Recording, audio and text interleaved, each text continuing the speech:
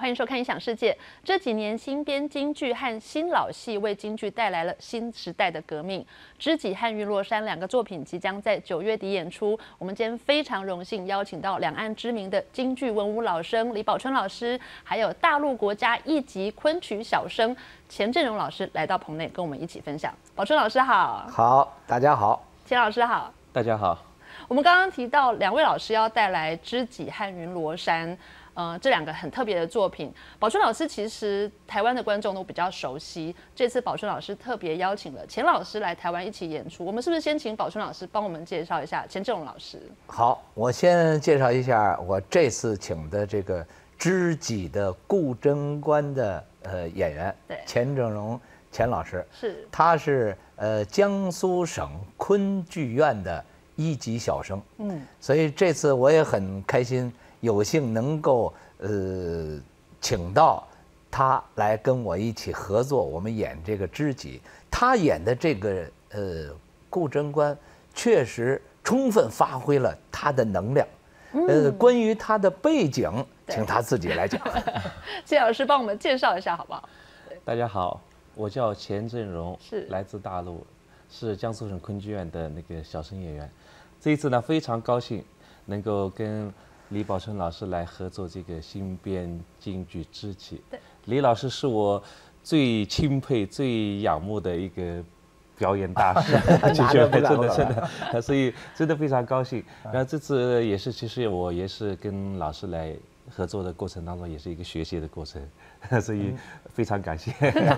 两位老师都好谦虚。宝春老师最近这几年其实都在做很多的新编京剧跟新老戏的创作。呃，知己就是新编京剧，对不对？对，我想简单介绍一下。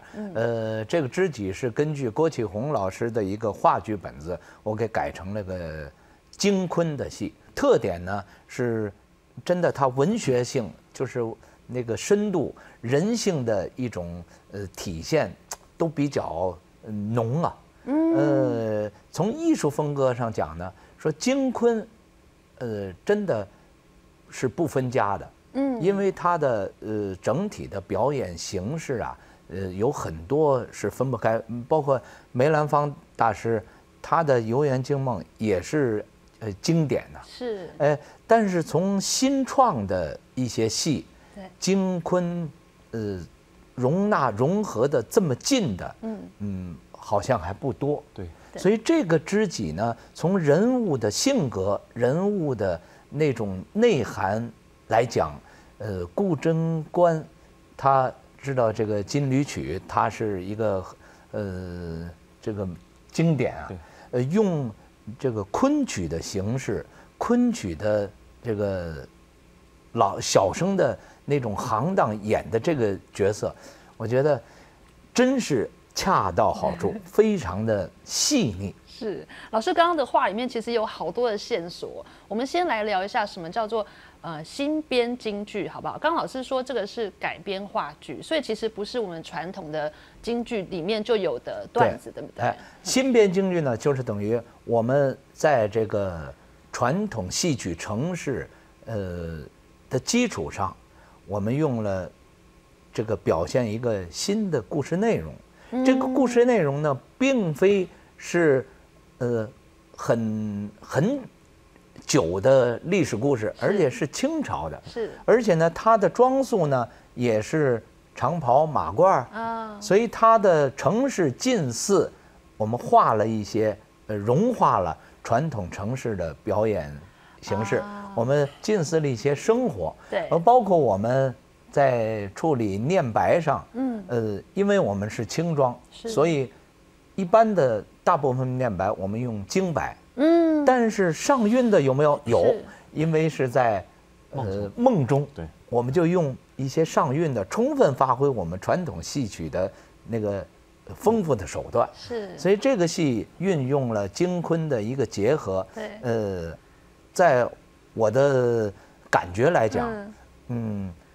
蛮恰当的，老师昆曲啊，我看过，嗯，《游园惊梦》跟《长生殿》，老师立刻就说，哎，这次的知己里头是有这个片段的。对，这一次有一个戏中戏，是，那就是《游园惊梦》的片段。是，所以说这个应该说金昆在不分家的情况之下，这个你是一个非常典型的例子，又是一个非常典型的例子。是是是，然后这个其实这一次我特别感觉到，就是刚才宝春老师讲的，特别是在唱腔上的这个创作，就做、做的非常的好，就是不着痕迹。是金昆的转换是非常的自如。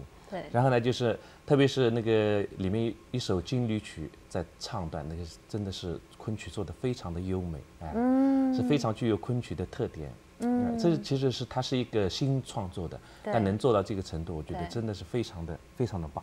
是。所以刚才正像呃你问的，呃我介我跟谁钱老师也介绍，我说在台湾，呃粉丝昆曲的粉丝，那铁杆儿粉丝，呃浓度非常深的，狂热的，的。大有人在，大有人在。其实金跟坤在表现上面，呃，最粗浅的来分就是金是呃锣鼓点热闹，然后剧情比较忠孝节义；婚呢就是温婉温柔婉约儿女情长。